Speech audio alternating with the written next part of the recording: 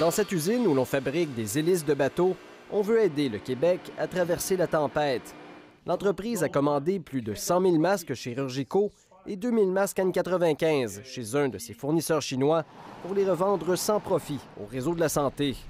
Mais on se demande si la cargaison se rendra à bon port.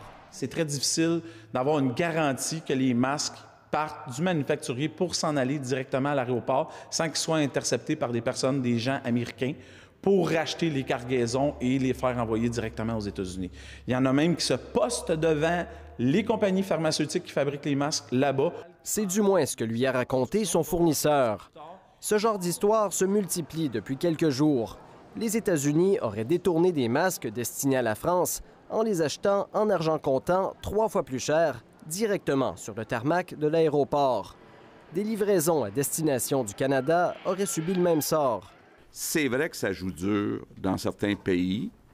Euh, on les nommera pas, mais on joue, euh, nous aussi, euh, les règles du jeu. Ça veut dire que des fois, il faut arriver avec de l'argent comptant, il faut avoir des policiers, des gens qui suivent tout le transport. On va continuer de travailler avec les États-Unis pour s'assurer qu'on a l'équipement dont on a besoin.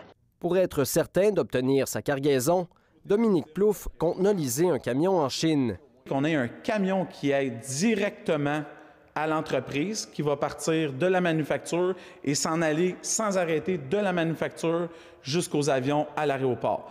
L'autre défi pour les entrepreneurs qui importent du matériel médical est de prendre contact avec le réseau de la santé.